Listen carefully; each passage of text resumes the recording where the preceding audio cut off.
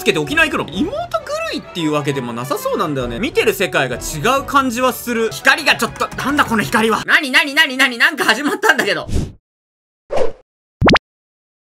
はいどうも、アニメラクターの財前です。今回も楽しんでリアクションやっていこうと思います。今回見ていくのは、妹さえいればいい第3話。見ていこうと思います。はい。というわけで始まりました。妹さえいればいいですね。今回で第3話見ていこうと思うわけなんですけれども、大体ここまでがチュートリアルになっていくんじゃないでしょうかっていうことで、まあ前回までであらかた人物の矢印関係みたいなものが見えてまいりましたよね。いろいろと闇はあるんじゃないかと思うものの、いつきくんを好きな理由だとか、大学生であるみやこさんが本当に妹狂いになってしまっているいつきくんとなんで付き合いがあるのかとか、かなり人物関係が明確になってまいりましたので、その人物関係を掘り起こしながらどういう風に動いていくのか。今回はめちゃくちゃ締め切り締め切りって言われてるので、いつきくんが締め切りに対してどういう風に向き合っていくのかっていう話なんでしょうね。はい、というわけで楽しんでやっていきましょう。それでは見ていきましょう。よーい。スタート。さて、取材でさえあればいいということで、はい。取材するようなことは何かあるのだろうか？この作品において。すごい失礼な言い方をした。すごい失礼な言い方をしてすいません、萌えさん。どっちがみやこさんでどっちがなやたちゃんですか？多分手前がなやたちゃん。そう思っている。エモーションレッツゴー。さて？寒い。うん。みんな、暖房故障中。うなんか溜まり場になってるな。お？あら、海だ？お？海？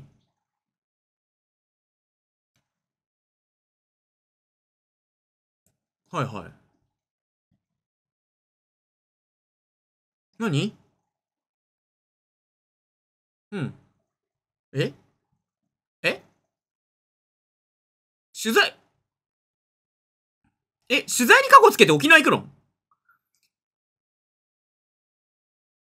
こういう時って経費で落ちんのかな？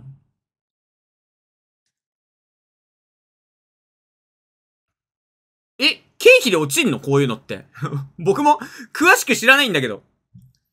あの、職業柄取材ということはしないので、あの、何？自分の足を使う取材っていうのはほぼないので、あれなんですけど。今のところ。でもいけんのかな？まあ、いけるか。取材だもんな。必要なことだもんね。でもそれってやりたい放題できちゃうよね。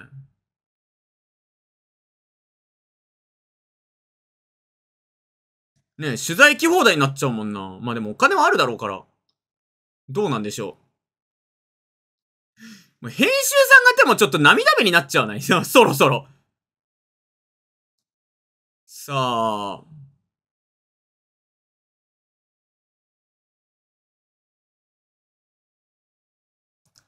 てててて。理想を希望で。千尋くんがなんかな、ありそうなんだよねここの、もう一回続くのいいよね。OK, let's go. さあ、マジで行くっぽいぞ。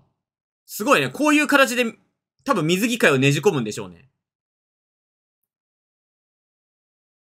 冬でも沖縄あったかいもんね。うん。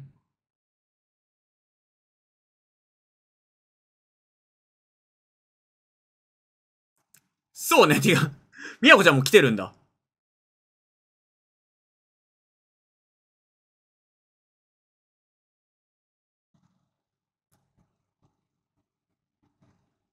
あー、そうかそうか。アニメ化近いんだ。春からだっけ？大変だね。うん。取材旅行？さ、取材でさえあればいい。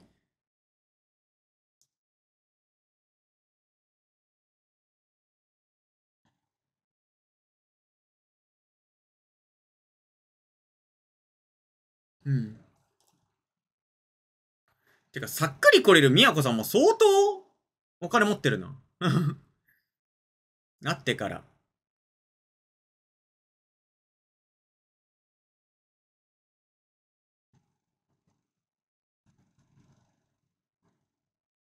あら。あらあら。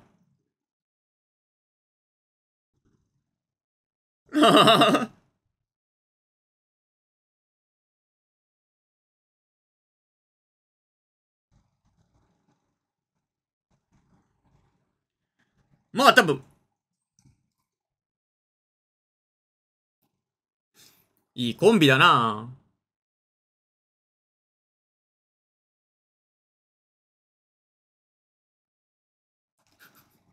すごいな、直球。すっごい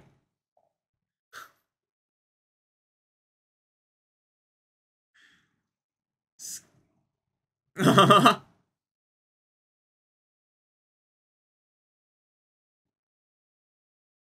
あら。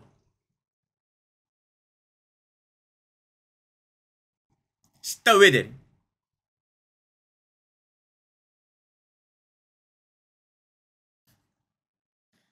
ラブが強すぎるなでも多分、負い目があるんだろうな。作家として負けてるみたいな。うん。でも、食べ方。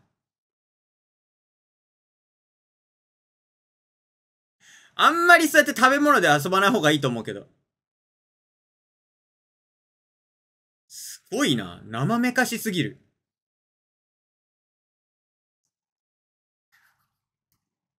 何を言わせてるんだ？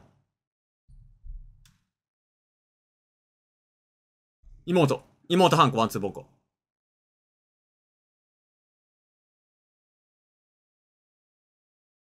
うん。なんだっけ？オリオンビール？オリオンビールだ。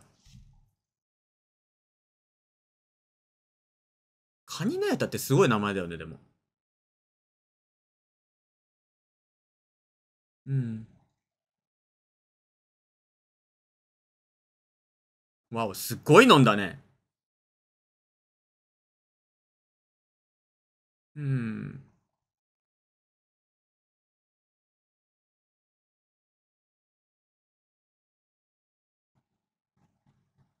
うん。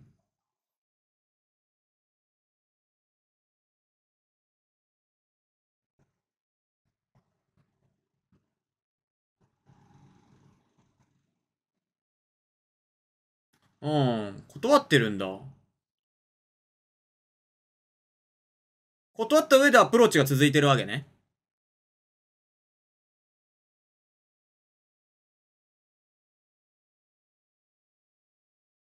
うん。本を読んで変わったんだよね、多分ね。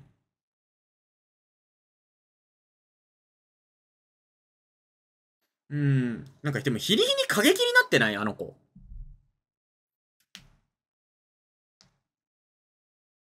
うん。まあでも、そんな器用なこともできなそうだしね。いつきくん。うん。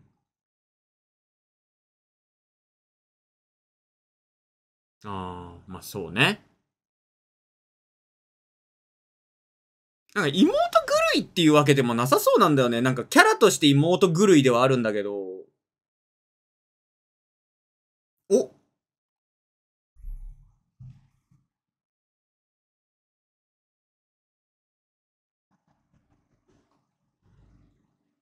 筆折るレベルなんだ、多分。普通だったら。そのレベルの本なわけね、きっと。けど折らずに続けてるんだろうな。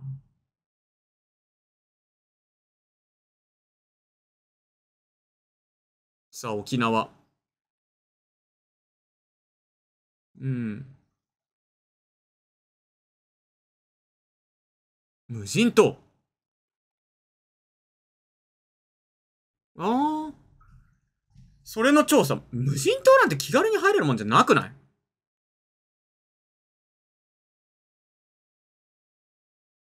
おい、首里城。さあ。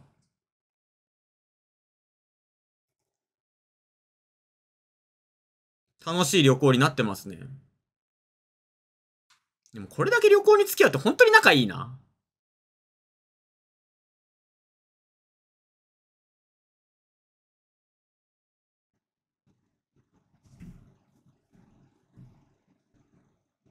ああ、ジンベエザメ。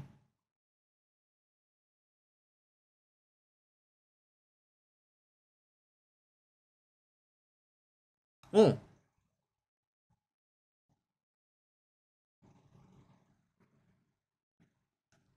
さあ、すごい楽しい旅行だな。さあ、ここで水着会回収ワンツーボンゴ来るかと思ったけど、ないっぽいな。うん、景色。え？ちょ、裸族すぎる、この子。バシャン。すごいな。自由すぎるな。意外といけるよね、冬の沖縄。さすがに無理がある。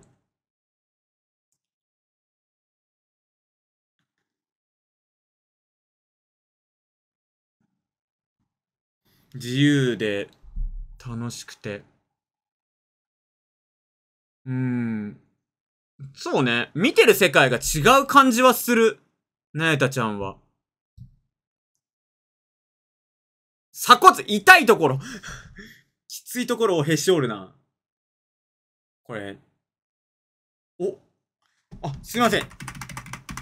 はいはい。参考資料だからな。なんだろう。うん。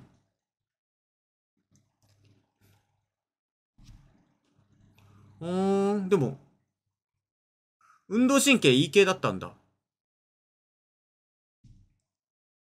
そうか。あー、マジでやってるものがない系だ。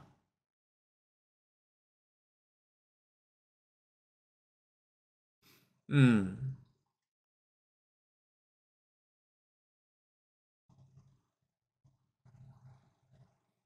あららら。あらあら、これちょっと、光がちょっと、なんだこの光は。なんだこの光。邪魔すぎるだろ。この光が。やばい。光という概念を消したい。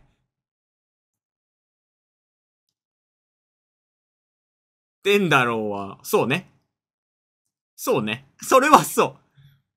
さあ、ルートビア、アメリカ生まれの炭酸飲料、尻尾を回せる独特の匂いと浜々のハーブの琉球じゃ、ああ、ルートビアか。なるほどね。あのルートビアね。さあ、ジンベエザメ。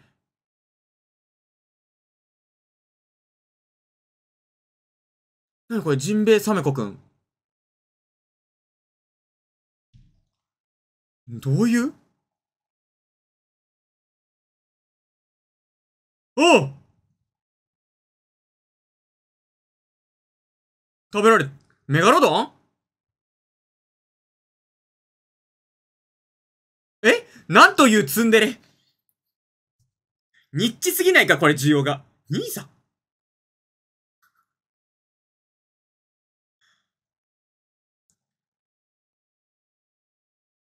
ピット期間にキスをしましたね。さて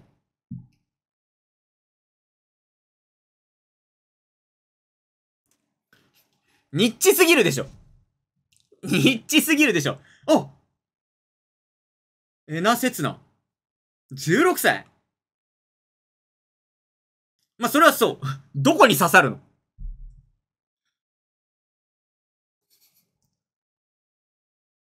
うん。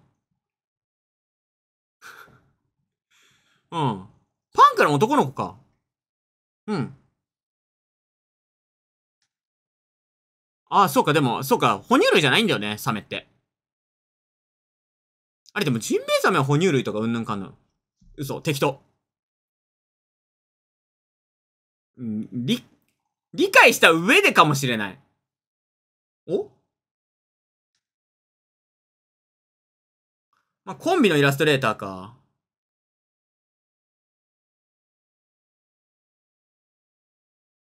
いくら？すごいな。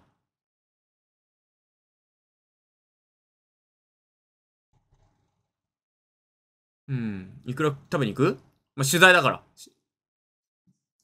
さて、おでん。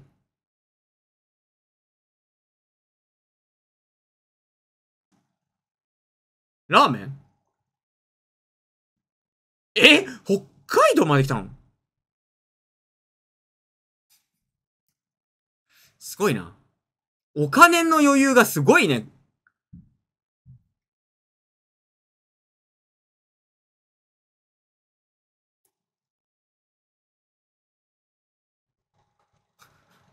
すごい、観光アニメになってるけど。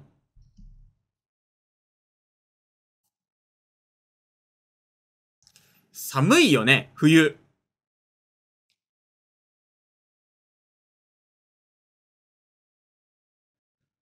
えなくん全く寒くないの？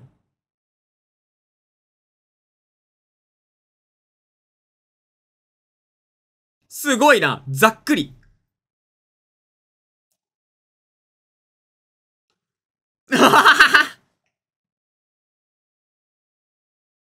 あ、また観光パート始まる？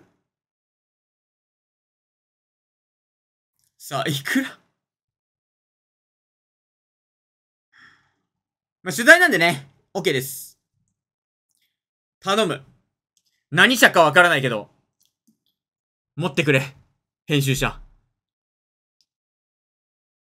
すごいな。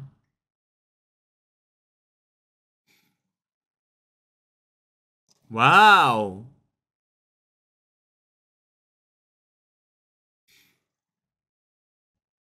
いくらだけにな。パないのは君たちだよ。君たちのフットワーク。あ、生臭くなるっていうね。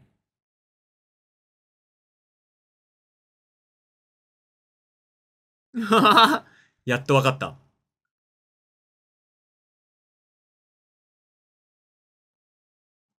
すごいな。めちゃめちゃ食べるじゃん。ジンギスカン？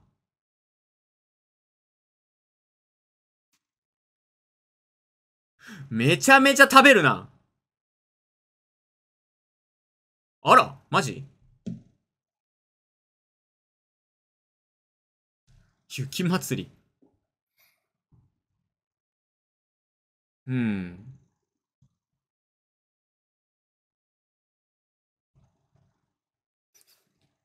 ふっかるがすごいな。ふっかるっぷりが。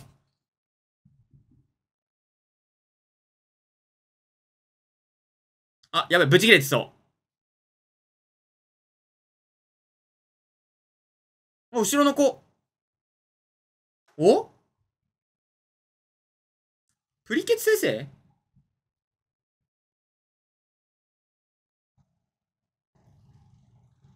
あら。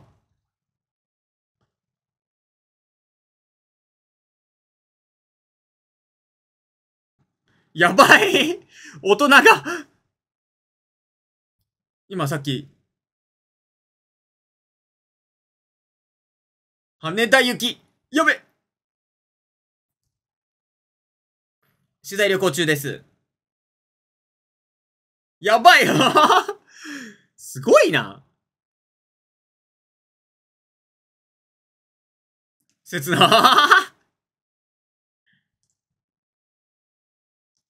さあ、飛行機キャンセルし。てか、プリケツってさ、まあいいや、後で話す。ふさわしくない。そうか、見た目？お？綺麗すぎる？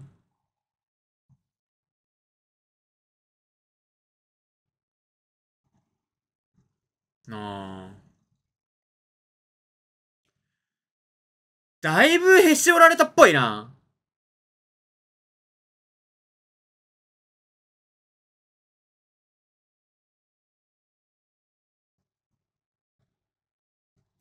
わお。こうやって相手してくれる？なるほどね。かなり自信がへし折られてんな。それがなやたちゃんの小説だね。お？これは原稿かな？裸で？何が起きてる？え、な、ん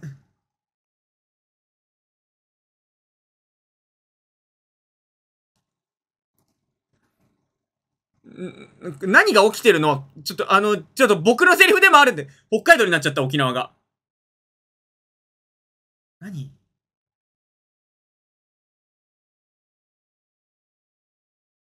昼で。何何何何なんか始まったんだけど。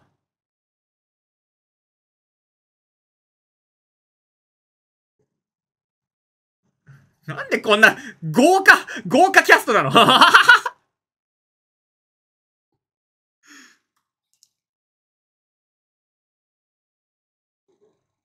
うーん。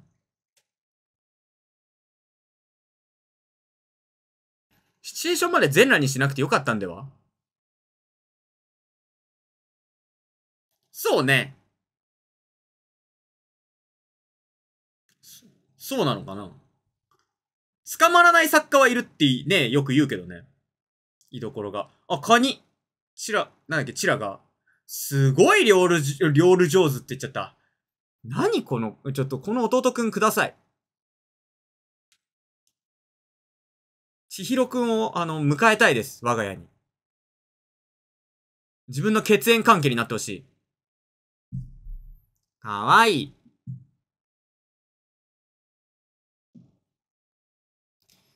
すごいね、料理上手で。本当にど、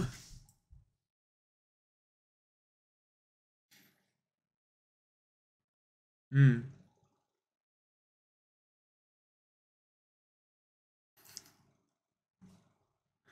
そう？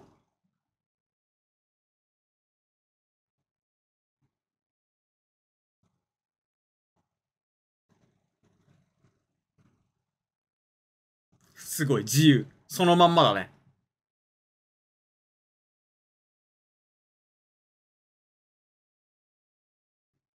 さあ、そろそろ小説に向き合わなきゃいけないんじゃない？家に帰ってきて。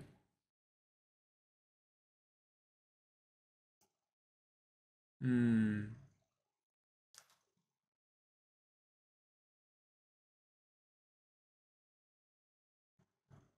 あらあら。でも、うん、絶縁関係って俺でもないよね、多分。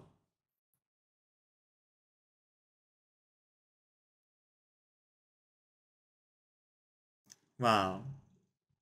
この子本当に弟？ちょ、ちょっと過ちがちょっと起きそうでした、今。いけない過ちが。実は妹だったりしないのかな？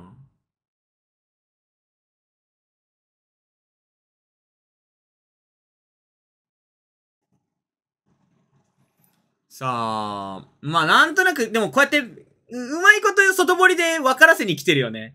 どういう人間かっていうのが。言葉通りっていうか、動きとか立ち回りだけで受け取っていい人間ではないことはもう明らかに分かってる。相当心の中では自分を下に見てるよね。卑下してるというか。で、それは多分、ねえ、多分、なえたちゃんに出会う前だよね。自信満々だった頃から。一転して、なえたちゃんに迫られて本を読んだ結果、自分の自信がへし折れてる。自分の書いてる小説が、まあ、悪い言い方をするとどれだけちっぽけかっていうものを分からされてしまったって感じではあるんだろうね。それでも多分、これしかやりたいことがない、これしかできることがないみたいな感じですがってるに近いのかなどうなんでしょうね。作家であるということにすごいこだわりは感じるんだよね。作家ってこういうもんだから、みたいな言い方を見る限りだと、作家業っていうものにかなりこだわりだったり、まあ、折れてはいるけど、絶対捨てられないプライド的なものはあるんだろうな。作家でいることにこだわってる感も若干ながら感じるけどね。うん、仕事さえすればいい。Let's go!OK, OK, OK. さあ。ジンベエザメ。かわいい、このエンドカード。ジンベエザメ、最大の魚か。やっぱり魚でした。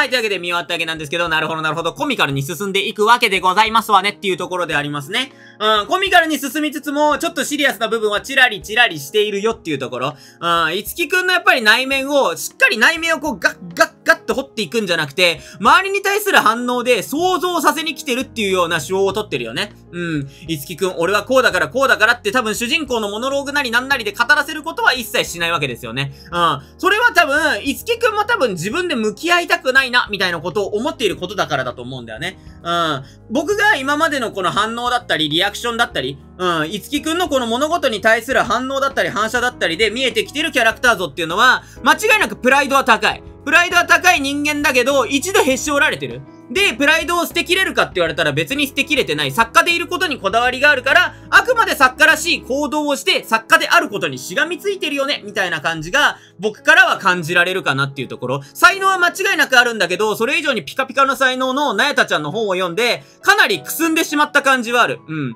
あれを見て自分の中、特にやっぱりいい作品とかを見ると、ああいう風にならなきゃな、憧れだからなっていうところで自分の作がブレてしまう。特に多分天才型はありがちだと思うんだよね。影響を受けちゃったんじゃないかな。うん、小手先で色々やろうとか、自分の好きなものってなんだっけってなった時に、えー、やっぱり妹だなってなって、逆に妹にこだわってしまっているっていうところ。なんとなく好きだった妹のことについて書く小説っていうのが、妹が大好きだってことにしないとみたいな、うん、周りに自分を合わせてる感っていうのは非常にあるし、間違いなくさっきも言ったように、作家というものにプライドを持ってるし、作家、作家業にいること、作家業であることにこだわりがある。そこにしがみついているっていう印象は、もう拭えないかな。うん、作家らしい行動をしてるけど、一切筆は進んでないからね。で、新作書こうとしてるわけでしょ？特に前に書いた本が、やっぱり自分の中では、なえたちゃんの新作よりも劣ってると思うんだよね。だから、さっさとそんなものは捨てて、自分の中の新しいバイブスで、勝つような部分を一から作りたいんだと思うんだよ。うん。だから、やっぱりね、続感は続かないしっていうところですよね。うーん、締め切りどうなんだろうなどうなんだろうなそっちと向き合った方がいいんだけど、多分向き合えないんだよね。もう多分、こんなのっていう風に思っちゃってるから、それこそやっぱり面白くないと思った作品を書き続けることは苦痛だよみたいなことは、バクマンかなんかでもやってたと思うから、そういうマインドになっちゃってるんだろうな。うん、俺の書く本は面白いっていうのは間違いなく思ってると思うんだよ。うん、でも理解できないって、ああいう言い方もすごい思うんだよね。うん、理解できないあいつらが悪い理論みたいなものを展開してるような気がするから、やっぱりね、心の中ではね、自分をかなり卑下しているけど、それを受け入れてる部分と受け入れられてない部分がすごいあるんじゃないかなっていう風に思うね、こう見てるとね。うーん、いつきくんは結構心の中でねじれてしまっている感じはあるし、周りがそれに気づけてないかもある。特になやたちゃん。うん。別にいいのにっていう感じではあるんだろうけど、いやー、これどうしたものかだね。うん、そうだ。あと、プリケツ先生ってやっぱり、いたよね。変人のサラダボールにプリケツっているよね。あれはどういうことなの？関係者かなって思ったけど、名前も全然違うんだよね。あ、あっちはなんだっけ？アスミスとかなんとかだっけ？バンドの子？うん、僕まだ最後まで見てないんだけど、変人のサラダボールを今続けて見てるんですけど。うん、どうなんでしょうね？そこら辺も多分、あれなのかな？でも見た目も似てたし、多分、この作者さんのあれなのかな？なんか、特徴的なキャラクターとして、毎、何、どの話にも一人はいるみたいな感じなのかな？なんて言うんだっけ？そういうのって。うん。なん、なんかそういう、なんか特徴的なキャラクター、なんか FF シリーズに全部シドが出てくるよねみたいな感じと同じなんだろうね。ただ、はがないにいたっけプリケツって。どうだったっけね？うん。まあでも作り始めたって感じなのかな？ああのイラストレーターを見る限りでもやっぱりそうだよね。自分をかなり下に見てるもんね。うん。あれだけプライドが高いのにそういうこと言うんだっていう風に思ったもん。うん。だから、人と会いたい人そういう風に思っちゃうんだろうな。俺の小説なんか読まないでっていう。自分の小説はいいものだと思ってるけど、ナヤたちを見てその定規がぶっ壊れちゃったんだろうな。うーん、でもこれってどうやって解決していくかっていうと、やっぱり一から作った作品がいいものだと納得したものを作ることが完全にセラピーになるわけなので、そうしていきたいところであるけど、ちょっとやっぱり、ちょっとエッジ聞きすぎてるよね。迷走してるよね。ジンベエザメ妹とかさ、俺は妹作家の希代のね、天才みたいな。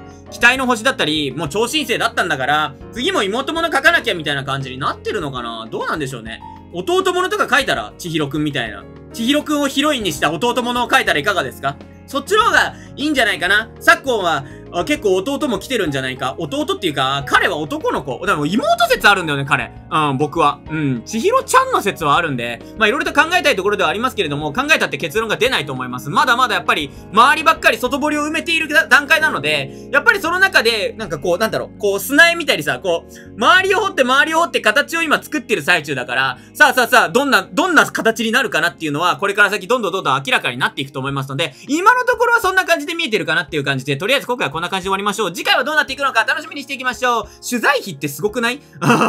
取材費ってすごくない？うん。大丈夫なのかな？あのお金は。はい。というわけで今回はこんな感じで終わろうと思います。以上、妹さんいればいいでした。バイバイ。